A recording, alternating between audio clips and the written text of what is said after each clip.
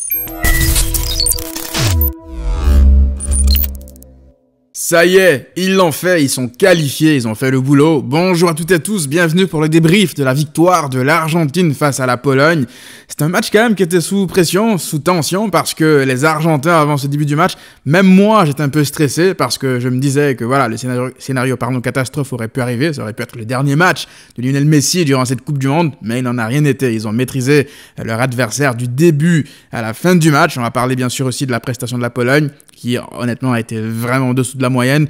Mais ce soir, c'est l'Argentine que je vais mettre en avant. Pourquoi? Parce que on retrouve petit à petit l'Argentine qu'on a connue avant le début de cette Coupe du Monde. Mais avant d'aller plus loin, cette vidéo est sponsorisée par PUBG Mobile. PUBG Mobile, pour ceux qui ne savent pas, c'est un jeu mobile free-to-play Battle Royale, l'un des jeux mobiles les plus populaires au monde, avec plus de 50 millions de joueurs actifs quotidiens sur le jeu et avec plus d'un milliard de téléchargements au total dans le monde. Vous pouvez participer à des jeux en solo, en duo ou en équipe dans les Battle Royale ou les différents modes de jeu. Avec 6 maps assez différentes et uniques dans ce jeu, vous pourrez également profiter de skins, notamment grâce à la collaboration avec des partenaires comme Spider-Man No Way Home ou alors The Boys. Donc ces skins-là seront disponibles dans le jeu. Et comment ne pas vous parler de lui, les amis? Il a, je suis obligé, que je t'aime, que je t'aime, que je t'aime,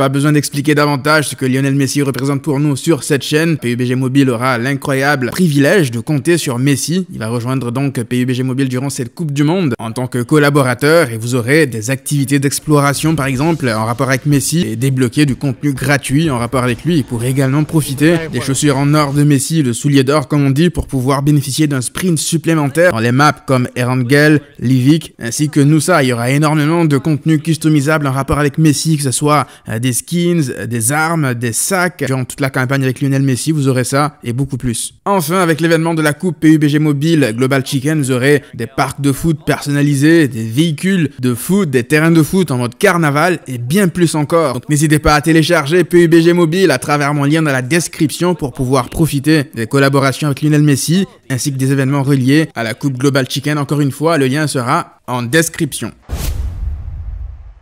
Bah tiens, en parlant de Lionel Messi, on va tout de suite commencer par lui, on va attaquer le vif du sujet, parce qu'aujourd'hui, il y a eu beaucoup de personnes qui l'ont encore une fois critiqué après son péno, mais moi je trouve qu'aujourd'hui Lionel Messi a fait un match incroyable. Alors les anti-Messi te diront que oui, aujourd'hui, si son équipe gagne, c'est pas grâce à lui. Tu as Julian Alvarez qui fait un gros match, qui marque, tu as McAllister derrière aussi qui ouvre le score.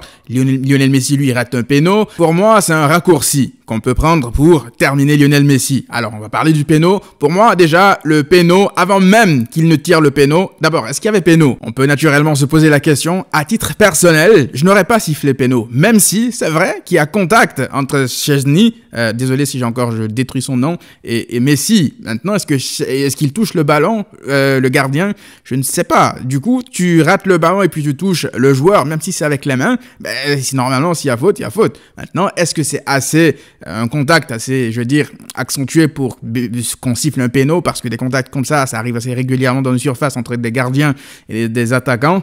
Je sais pas si ça méritait un péno. Toujours est-il que le péno, il a été manqué. Mais moi, je, vous l'ai dit tout à l'heure, dès que Messi, il s'est arrêté pour tirer le péno, j'avais un pressentiment qu'il allait le manquer. Pourquoi? Parce que Messi, ça va être drôle ce que je vais dire là, ça va même surprendre certains.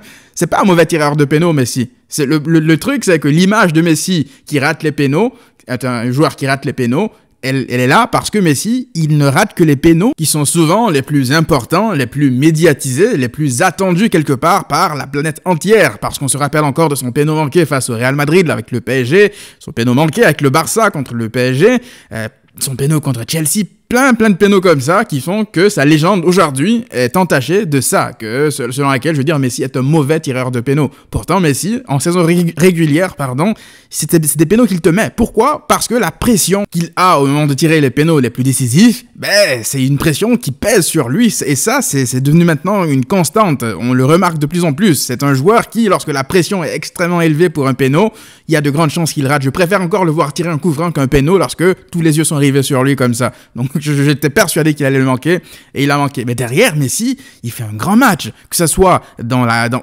Aujourd'hui, pour moi, il a fait un match de meneur de jeu. Il a distribué des caviars. Il aurait pu terminer avec deux, trois passes décisives, euh, limite. Il a distribué pas mal de caviar pour Acuna de l'autre côté, qui a pas arrêté de renvoyer des ballons sur, sur Namek ou sur Pluton, je sais pas. Mais le plus important aujourd'hui, c'est de se dire que on retrouve petit à petit l'Argentine qu'on a connue avant le début de cette Coupe du Monde. Parce que ce soir, Messi, il n'a pas été décisif, que ce soit par le but ou même par une passe décisive.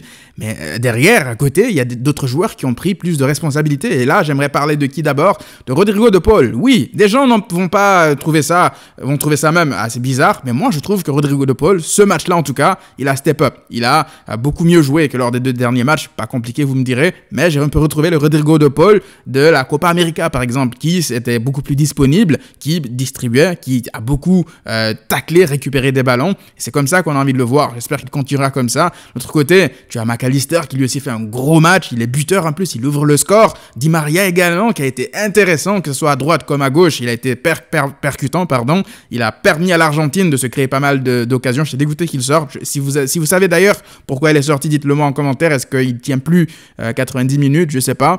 Euh, mais en tout cas, voilà, il fait un gros match Di Maria. Et quand on ne pas parler de, de Julian Alvarez, alors lui, c'est une pépite. Manchester City, je sais pas, ils ont de la chance de l'avoir parce que lui, ça va être un joueur très intéressant dans le futur. Le but qu'il met, quel golazo. La combinaison avec Enzo Fernandez, il me semble que c'était lui, a lui aussi fait un gros match. Et la combinaison, je veux dire, du but de l'Argentine au deuxième but, il était exceptionnel. Et c'était cette Argentine-là qu'on a vu quasiment durant, euh, depuis leur victoire en Copa América jusque avant le début de la Coupe du Monde. Et ça fait plaisir de voir qu'ils ont ça en eux. C'est pour ça que je vous disais la dernière fois que je pense que c'est vraiment mental leur problème, que c'est un blocage, qu'une fois que ça ira mieux, ben, que c'est une équipe qui peut jouer libéré, qui les qualités de montrer ce qu'ils ont euh, beaucoup plus que ce qu'ils ont montré depuis le début de la Coupe du Monde. Euh, maintenant, euh, derrière, évidemment que l'absence de Lo Celso se fera ressentir au bout d'un moment, mais s'ils réussissent à trouver des alternatives tactiques comme ça pour pallier à ce manque de création au milieu avec l'absence de Lo Celso, ben, ils peuvent aller très très loin. C'est une équipe qui commence petit à petit à monter en puissance. Et là, ils vont affronter en plus l'Australie. Donc voilà, ils ont, ils ont le, temps de, voir venir, de peaufiner certaines choses avant d'affronter une meilleure opposition. Je pense qu'ils vont battre l'Australie. En tout cas, j'espère. Mais ce qui fait plaisir aussi, au-delà de cette victoire de l'Argentine, c'est que ben, la Pologne de Lewandowski, notre Robert Lewandowski du Barça, est également qualifiée malgré leur prestation de terroriste. Parce que là, ce soir, les Polonaises, qu'ils ont fait, c'est d'envoyer euh, des ballons à Lewandowski en mode vas-y, débrouille-toi, t'es un contre un million d'Argentins, euh, fais ce que t'as à faire, nous on reste derrière, on te regarde. C'est littéralement ce qu'ils ont fait durant tout le match. Et si ils continuent comme ça, ils vont très vite se faire sortir en huitième de finale. Mais au moins, je reste extrêmement pour Lewandowski. Il y avait eu une petite polémique naissante avec les anti-Messi parce qu'il y avait Lewandowski qui a fait une faute sur lui, une double faute même parce qu'il n'arrivait pas à prendre le ballon à Messi.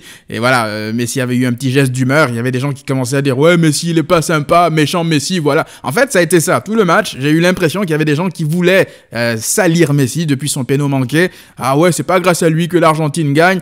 Mais ça je pense qu'on est habitué aujourd'hui avec le clubisme, avec euh, voilà les gens qui préfèrent certains joueurs qui détestent d'autres. Du coup bah, malheureusement pour eux, ben, ça, cet incendie a été éteint dès le coup de sifflet final. Messi, on le voit avec Lewandowski, ils échangent des mots, et en exclusivité, j'ai réussi à voir les mots que Messi a dit à Lewandowski. Plutôt. C'était 14 secondes après euh, la fin du match. L'échange a duré 5 secondes et Gilles Favard nous a fait un teasing. Il sait ce qu'a dit Cristiano Ronaldo à Laurent Blanc. Nous avons donc cette exclusivité mondiale. Je vous donne la main, mon cher Gilles. Il lui a donné son numéro de téléphone et il lui a demandé où l'année prochaine il allait l'entraîner et qu'il le suivrait quoi qu'il arrive. Non. Ah si, je vous le dis. Ben, il va peut-être rester à Paris, euh, Laurent Blanc, n'en sait rien. Il lui a donné son numéro de téléphone? Il lui a donné son numéro de téléphone et il lui a dit Tu m'appelles, je te suivrai où tu es. Tu sais qu'il l'a connu quand il était, quand il était à Manchester.